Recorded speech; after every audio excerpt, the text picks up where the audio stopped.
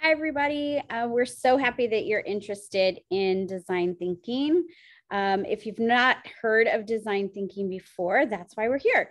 So, this is our design thinking team, or at least a portion of it. And we decided to kind of go into a rebranding session. We started out this last year with two different cohorts raising blended learning and project based learning. And that work was led by me, Jen Maestas, and Dr. Carol Harrell and Matt Singleton um, from UTSA. Oh, and Javi. And Javi. Javi. And this is Tim Bishop back here. Hello.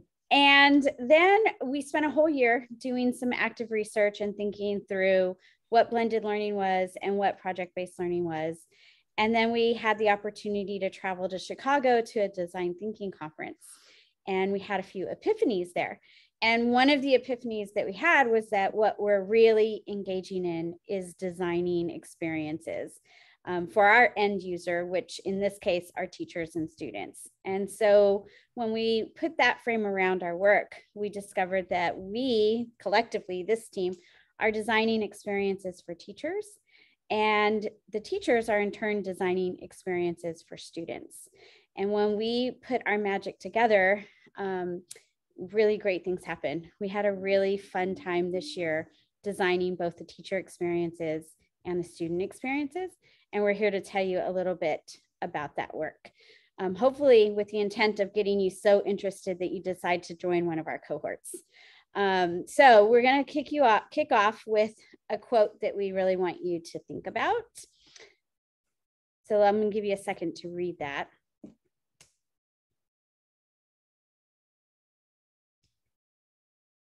We first saw this in Chicago and we were all a little wowed by it. Mhm. Um, so, who wants to give a, a reflection real quick? Well, my first wow was I thought, oh, well, I won't be here. So it was a it was a downer wow. It was a downer wow.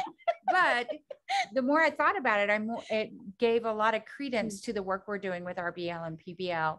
Um, because the skills that the teachers and our industry partners and our community leaders and the experts that we have had um, involved in this process um, have made it more about those enduring skills and um, or skill sets that kids need, like effective communication, collaboration, critical thinking, creative thinking, all of those. And those have been timeless. And what kind of opportunities does students have in schools Mhm. with teachers as their guides um, to to really hone in on those and so much so that they're confident in whatever they they want to pursue afterwards um, you guys had some comments too Yeah, it made me uh, it made me kind of think about you know the technology aspect of things. You know, right now we're uh, at, this insane level of technology compared to what we were when I was a kid, even in high school.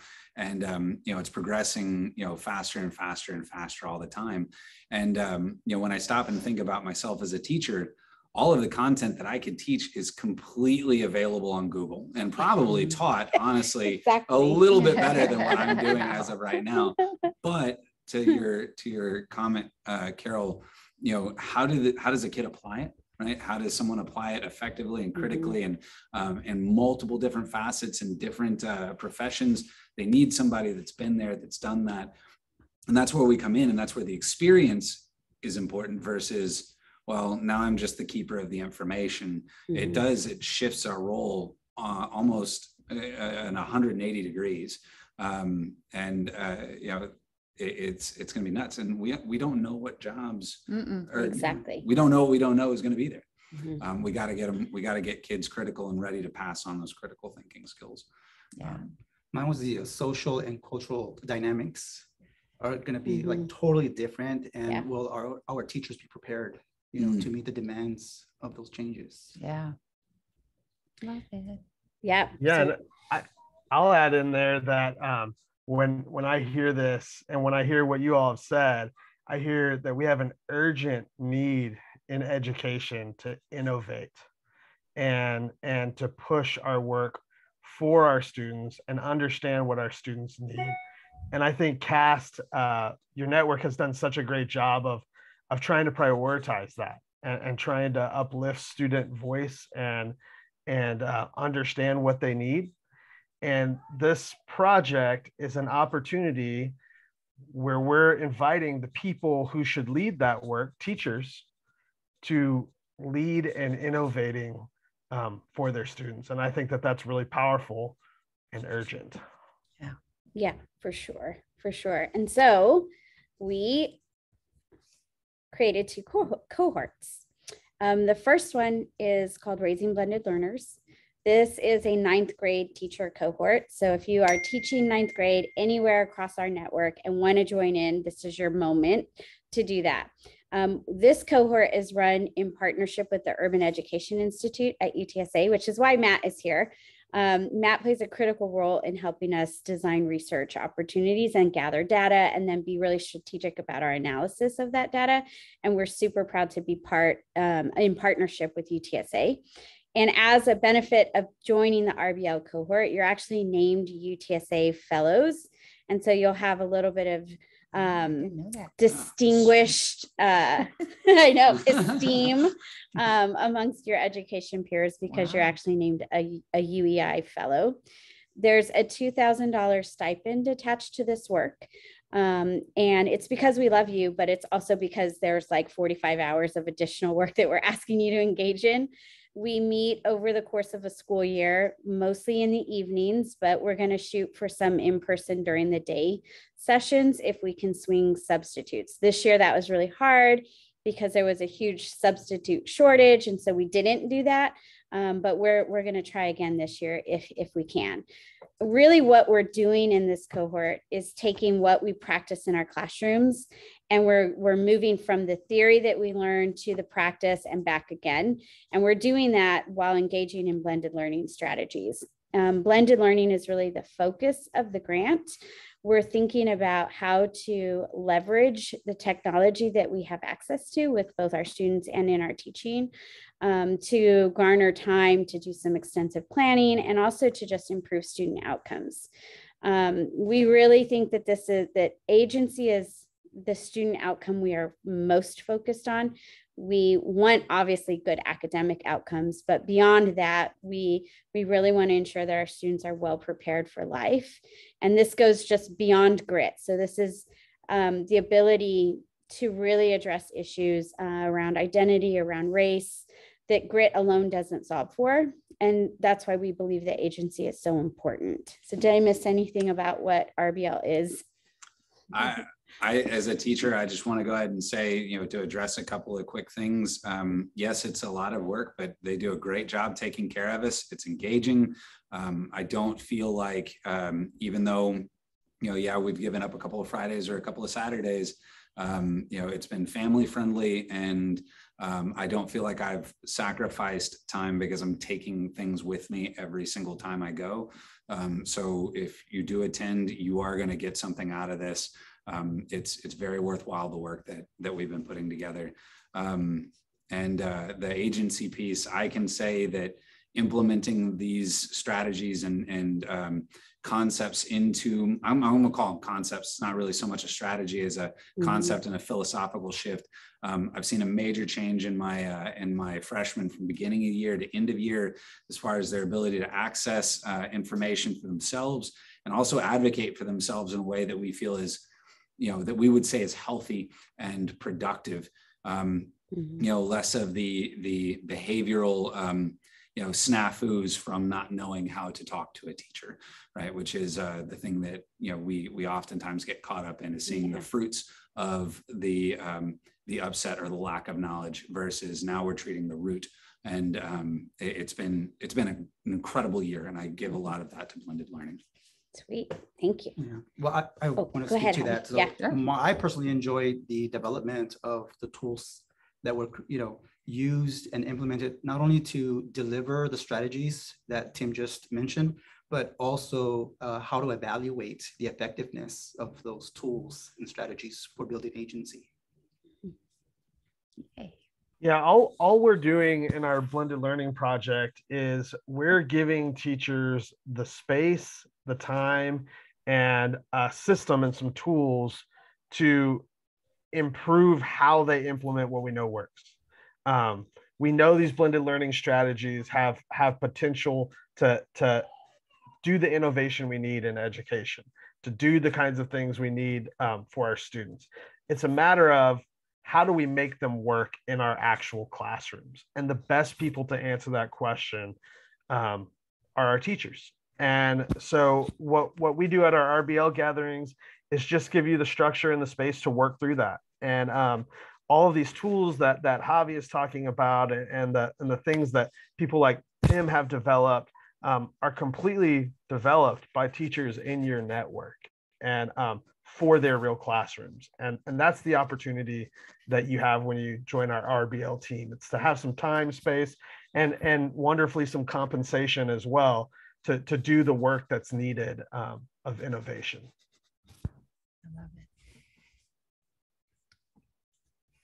And that brings us to our second cohort that uh, Dr. Harrell runs. So, um, what's been wonderful, um, having two co- co- cohorts going on at the same time and having members, a couple members in both, is we really start seeing how um, PBL envelops and embraces uh, RBL and and really going back to what Matthew was saying, um, giving teachers space, time, encouragement, support. Um, in in the case of our PBL roadmap, it is really now creating a system. Everyone was kind of bringing um, like pieces of a quilt to our our Saturday sessions, but now it's coming together on a roadmap that will um, support teachers in the classroom and and in their schools. And so um, the cohort it consists of ninth through 12th grade teachers, all subject matters. Um, this year we have math, science, art, CTE, um, uh, English, sorry, English. We have a couple administrators. Um, so we have everybody. Um, we have someone from every school, which is really neat. We also added a student version of the adult version that meets in the summer. And again, we're going to encourage you to invite your your students to sign up for um, the PBL posse is what they named themselves last year. And then also encourage this next cohort to form a PBL posse, student posse at their own uh, campus. So students are now part of not just the development of a PBL, um, but owning the process along the way as well.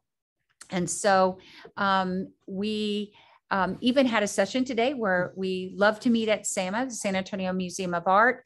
Um, we've met at the museum and a couple other places, but we really take the learning seriously when we're in here. So the roadmap now will be an interactive roadmap. It'll um, go onto a, a web page. Um, there'll be a way for students to um, actualize their process and recorded in bulb or or whatever another campus use bulbs an electronic portfolio system but really honoring that this is a process. It's not just about an end product or an end project which helps teachers understand that and students that this is really a journey. This is a road from launch mm-hmm. to legacy and that what they do will impact the world. And so um, that's the cast version of it. And we welcome you to join us in that capacity. Again, we meet Saturday mornings, but we've also decided as a team to say, oh, let's try Thursday afternoon. So, no, there will be some flexibility that way. And then it ends in May, but we're also looking at um, some of the cohort helping us with mm-hmm. training in the summer for new teachers. So lots of opportunities around project based uh, uh, PBL, um, moving from project-based learning to process-based learning. Did I capture the stipend? Yes, Saturday session. Okay, good. We're good. um, did y'all want to add anything? Because you've been in both. You want to go first or? I, just the brain power that's in this room, you know, when we come Like together. collective it's just- intelligence, Yeah, right? absolutely. Um, it's just amazing what we're producing. And again, it's all about the process. And so it does take time and that's time is something that we need. Um, not only when we meet as a collaborative, but even on our campuses. Um, and something that we advocate. Yeah. Um, and being in the classroom, you know, the the thing is, I've always I've always pushed for for project based learning. Now we're going to process based learning, which is going to be a lot more involved and a lot more student centered, which is amazing. And I, I know the the the first thing that I thought of from the skeptics part of my brain is is well, how in the heck am I going to be able to do this and still teach my content? Well, ha, ha, ha, that's where the benefit of me being in both is coming in because now blended learning is becoming a vehicle for me to meet students where they are individually without completely you know wrecking or uh, abandoning the idea of process-based learning when you know our calendars start to get really tight Right. and so again you know i I'd have signed up for both of these, you know, without the stipend because A, they're in cool locations and B, because I, it's making it's making the life of myself and my students better because we're doing good work. Yeah. But man, they they uh, you know they've taken care of us uh, as teachers. They're they're and they're giving us again uh, concepts and philosophies and ideas on how we can blend the big with the small and meet everywhere in between without you know running afoul of you know those those due dates that we all get super Mhm. scared of of missing. Um i really feel like you know this is now instead of a juggling act this is a balancing act with props set up on either end. And uh, uh, I, I thank both of these teams that you guys have put together. Um, you know again all my cynic you know all my skeptic teachers like please show up buy in you will you will love it right this is very much a yes and kind of group and and it's going to pay off big time I just, I, you just made me think too. I know Jen um, and Matthew mentioned this, you know, ultimate goal is student agency, right? We, we all want that. And, you know, if this was a big hug, it would be a Mhm. student hugging both of these, right? And Mhm. embracing it. But the teacher agency that Exactly. sometimes doesn't have a, a, a space um, just because we're so busy being teachers now has a place in a space. And also once teachers have agency they'll make things happen. You know that. So we encourage you if you you kind of felt like there wasn't a place for you or a Mhm. space for you there there is. And it's not that any campus is doing anything in a negative way. It's we're the business of teaching kids during the day. So Right. we know that. So think about it that way um, and then matt you're smiling a big smile. What were you going to add? No, I, I think Carol is absolutely right on it. Um, what's special about both of these approaches and these two things happening together in the CAST network is that it- it is putting teachers in the driver's seat, giving you space to take these things we know work project based learning. We know what this does for students. We know what having authentic products and, and authentic practices that, that actually mean something in their world. We know that that helps students, especially our most vulnerable students. And we know that blended learning strategies can help us do these things and get this work done. And now you have a time and space carved out, and you're being compensated um, so that you can figure out how to implement these things and make them come to life in your classroom. And that is powerful. And um, that's why Urban Ed, at Urban Education Institute, we're so happy to partner with CAST schools and CAST teachers because you guys do have a place where that's not only something that's talked about as a desire, but they've really put some work to put some resources um, and practices uh, in place to help you do that. And that's really, really powerful. And we are super excited about it. And this year, we're going to do something a little bit different in that we're going to try to bookend the experience collectively. So, this is our first step. We're in a virtual session.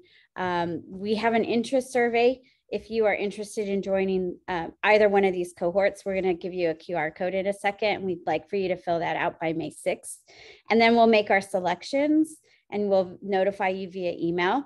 And then we're going to have one giant kickoff happy hour with both cohorts. Um, we're super excited about that. And then after the kickoff cohort, we'll kind of branch out into our teams. And you'll notice that we put an IBL team there um, down at the bottom. And we haven't really mentioned IBL too much, but it is something that we are working on and thinking through. And so we'll send out more information on, um, on that at a later date. But it's another way of designing student experiences that we will continue to, to think on.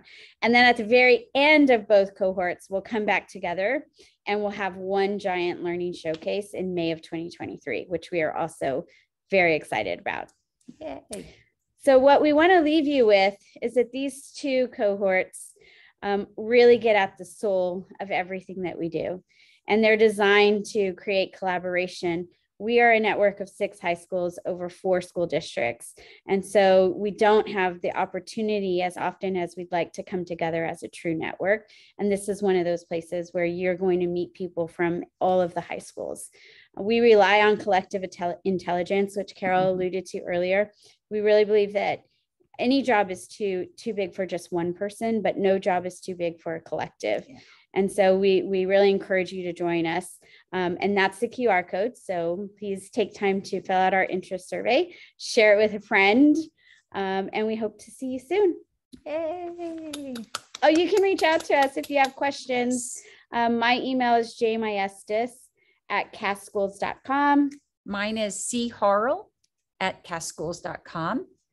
Mine is J De Hoyos two at SISD.net. Timothy.bishop at ecisd.net. And I'm Matthew.singleton at utsa.edu. We cannot wait to see you guys. See you Yay. soon. I'm doing my interest survey. Thank Oh, you're doing your interest- you're gonna handle it. I love Bye. it. I love it.